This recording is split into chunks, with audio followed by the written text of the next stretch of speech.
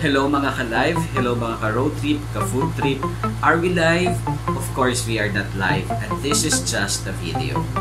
Anyway, um, tapos na ako sa aking second dose. Ito yung ibibigay sa inyo bawat LGU kapag na-vaccine na, na-vaccinate na kayo or nabakunahan na kayo, bibigyan kayo ng card na ganito kung saan nakalagay kung kailan kayo binakunahan, yung first dose at saka second dose. Bago po kayo sa channel na to, maaaring pakipindot lamang po ang subscribe button sa ilalim. And of course, yung bell icon para magkaroon po kayo ng notification every time na meron kaming bagong upload na video. And of course, pwede ninyong i-share sa Facebook ang video na ito at maaari din po kayong mag-comment sa comment section.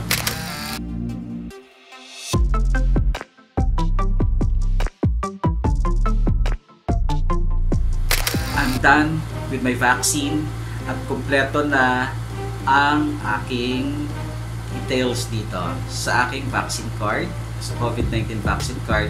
So, naandito yung portion na to sa likod. Actually, ito yung harap. Tapos sa likod, dito sa likod is nakalagay kung kailan yung first dose at saka second dose, pati name ng, ng, ng, ng nurse or doctor na nag-check sa inyo ng vaccine. Tapos yung sa harap naman is of course yung details, of course yung name, address, age, at saka ibang details pa.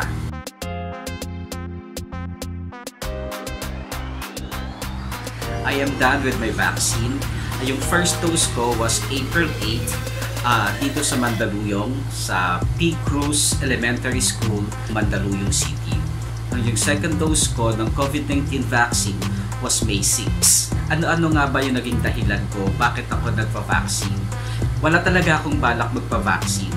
Of course, nandyan yung takot. At the same time, uh, parang ayoko lang. Ganun lang kasimpleng ayoko lang. Ayoko lang talaga magpa-vaccine. Until last March, nagkasakit ako eh. Nagkaroon ako ng sipon. That time, medyo napraning ako. Hindi naman siya lumala as in lumala. Pero yung kinatatakutan ko that time kasi I am living alone. Siyempre, kapag, kapag nag-iisa ka, uh, walang, I mean, mahirap, mahirap mag umasa sa ibang tao. So yung time na yon, uh, nawalan ako ng nagpang-amoy. Uh, very, very cautious ako that time na hindi ako magkaroon ng lagnat. Yung iba pang symptoms ng, ng, ng COVID-19. So, from time to time, check ko yung panlasa ko. So, ganun ako kapraning that time. Uh, lucky enough, di naman ako nawala ng panlasa. Uh, ang ginawa ko that time was nag-double dose ako ng vitamin C. Uh, lahat ng, ng nutritious food, tinake ko yon Uminom ako ng, ng uh, smoothie, uh, fruit smoothie. That time ang ginawa ko is cucumber at saka cucumber and pineapple para lang ma-boost yung, yung immune system ko.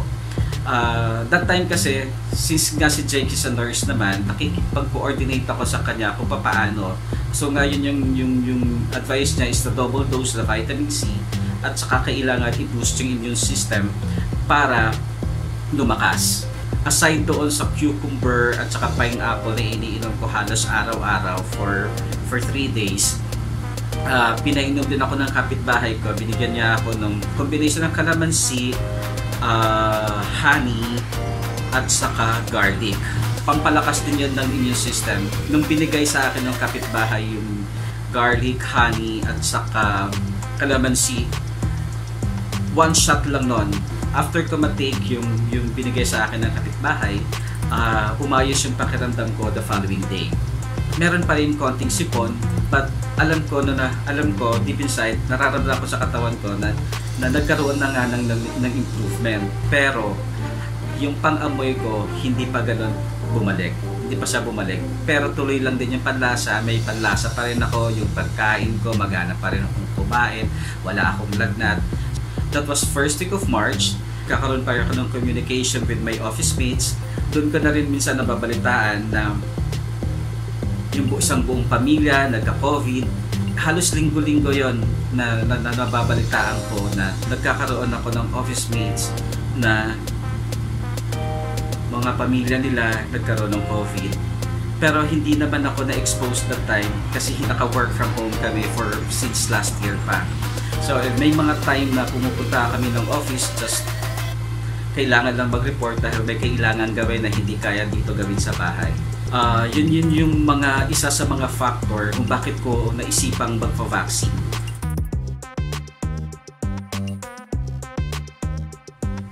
Yun nga, April, first week of April, yun yung isang kapitbahay namin dito, uh, nakabalita na parang chismos kapitbahay lang, di ba? Nakabalita nga na pwedeng mag-walk-in dito sa may Mandaluyong. So, dito nga sa P-Cruise, decide ako magpa-vaccine that time. Uh, pero yung unang punta namin, yung unang punta ko sa, sa P-Cruise, hindi ako naging maswerte dahil nagkaubusan ng slot that time. Ito yung mga kasagsagan ng first uh, first batch ng vaccine na dumating, yung Sinovac na. Ito yung in-inject sa akin. Siguro yung time na yon kaya siguro naging maswerte lang ako kasi nga marami pang mga taong takot sa bakuna takot pa rin magpabakuna. Wednesday, April 7, pumunta ako para magpa-vaccine. 4 o'clock ako nakarating doon sa P-Cruise. At yun nga, hindi ako sinwerte, naubusan ng slot. Very accommodating naman yung DSWD ng Mandaluyong. O sige, pwede naman kayong bumalik or pwede kang bumalik the following day if you want. Yung ginawa namin ng isa sa mga kapitbahay ko rito, pumunta kami noong uh, April 8 ng medyo mas maaga. Kasi nga, uh, kapag 4 o'clock, medyo delikado. Nung, yung first attempt namin, naubusan kami ng 4. And then, yung second attempt namin na pumunta, uh, swerte nakakuha kami. Meron meron kaming naabutan na form. So yun nga na in-entertain, in-entertain naman kami kahit hindi kami yung kasama doon sa listahan. Kasi importante dito sa Mandaluyong na naka-register ka sa Mandavax pero yung time na yun nga napakaswerte talaga dahil uh, nakakuha kami ng slot yung first dose ko, hindi ako nakakuha ng uh, pictures kasi nga medyo madalian talaga yon And then, um, yung, yung mga process kasi, syempre may registration, may mga pila na kailangan mo siya i-follow. Parang hanggang step 5 yata. So, sa first step mo is kumuha ka ng form, i-fill up mo yung form, and then kailangan buhain yung vitals vital statistics. ano yan? Uh, anyway, uh, yung kailangan kuhain yung um, vital signs mo, yung BP, yung pulse, yung, yung kailangan yung yung oxygen level, yung pulse rate mo. So yon isa sa mga kinukuha yon and then i-interviewin ka kung meron ka bang comorbidity. Wala naman akong, hindi naman ako hypertensive. Though may maintenance ako which is uh, for my cholesterol, yung simvastatin, yun yung tinitake ko kasi elevated nga yung yung aking cholesterol level. Yun, isa sa mga dineclare ko yon and then tuloy-tuloy lang hanggang sa makarating na doon sa sa area kung saan i-inject na yung vaccine. After mong mabakunahan, punta ka ulit sa isang area, tatanungin ka, tapos i-orient ka, may binigay sa amin that time na paracetamol. Doon kasi sasabihin mga adverse side effects ng vaccine doon i-orient ka doon and then may binigay sa akin ng isang papel na ito. Isang papel na kung saan nakalagay, kung saan nakalista yung mga possible side effects after the vaccine. So, binigyan kami ng paracetamol nga in-advise na in case nga na ma-experience mo yung adverse effect ng immunization, mag-take ka lang ng paracetamol. And then, uh, doon sa area, may waiting area doon, bali observation area yon magstay ka na for 30 minutes kung magka, kung meron ng side effects kang nararamdaman in span of 30 minutes. Baswerte, as in wala akong naramdaman that time. And after 30 minutes, yun na nga, umuwi na kami. Pagdating ko ng bahay, medyo nakaramdam na ako ng medyo mabigat yung, kasi dito in-check sa left side, uh, mabigat yung pakaramdam, which is normal kasi nung nagpa-vaccine naman ako ng anti-pneumonia a few years back, ganun din naman yung naramdaman ko. So, hindi ako natakot that time. And then, oh, hindi pa ako uminom ng, ng, ng paracetamol that time. Kasi nga, inoobserbahan ko pa. And then, uh, nung mga bandang late night na around 9 o'clock, uh, nakaramdam na ako ng uh, the usual, ito yung, yung, yung side effects, common side effect ito uh, yung mainit siya sa katawan pero alam mong wala kang lagnat. Kasi kinuha ko naman yung body temperature ko that time. So normal naman. So pero may init siya sa pakiramdam. Yung yung time na yon sinabi ko kay Jake isa siya sa mga frontliner din. Ang sinabi niya mag-take lang ako ng paracetamol every 4 hours hanggang sa maka 24 hours. Actually si Jake kasi is nauna sa akin na mabakunahan nasa Sambales siya so doon sa kanila ang ang binaksin yata if uh, hindi ako nagkamali is AstraZeneca. So, yun yung available na vaccine para sa frontliner doon sa Sambales. So, kausap ko siya that time na, na nag sa first dose niya. Uh, sinabi nga niya, may init sa katawan. Ganon din yung naramdaman ko. But though, iba, iba kami ng brand ha. Tapos yung, siyempre, ato, sa kapitbahay na naman, ay kapitbahay ko na kasabayan ko sa, sa pag-vaccine, wala, as in wala siyang naramdaman na, na side effects. So, so after the, the first dose, kailangan mong magbilang ng 28 days para sa second dose. Pero kasi ang proseso dito sa Mandaluyong, kailangan mong mag-register sa Mandavax. Nung first dose nga kami, naka-register na ako that time. Time na yon hinihintay na lang ako ng tawag.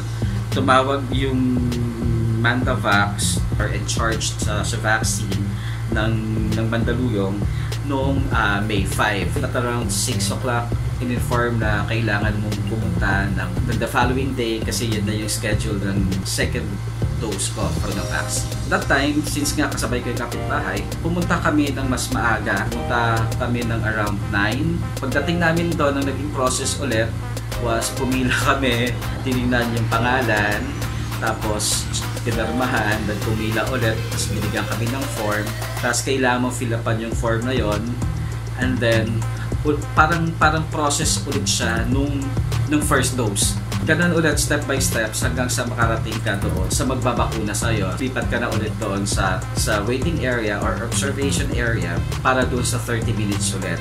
Uh, yun nga, wala akong naramdamang side effects.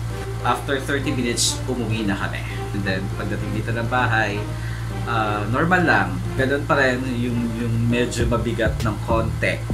Yung kung saan in-inject yung, uh, yung vaccine And then that time, inoobserbahan ko kung, kung ano na naman yung baka sakaling magkaroon ng side effects. Nung, nung gabi, wala. As in, wala akong naramdamang side effects.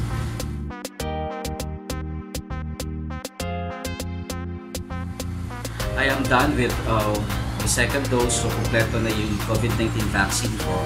Of course, parating pinaalaala ito ng DOH natin na kahit kompleto ka na ng vaccine, ng COVID-19 vaccine mo, kailangan pa rin natin i-practice yung health protocols which is frequent hand washing or sanitizing. Kailangan mag-wear ng mask at face shield kapag sa public area.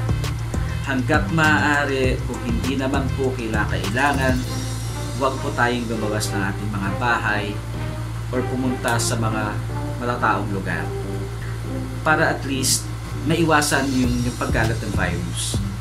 Of course, kailangan mo pa rin ingatan ng sarili mo. Kasi ang, ang, ang vaccine is protection siya, pero hindi niya pinapromise na hindi ka tatamaan. Kahit may vaccine ka kasi, possible pa rin na tamaan ka ng COVID-19, pero ang promise na ibibigay lang niya is hindi magiging severe yung effect sa'yo ng virus kasi nga meron ka ng bakuna.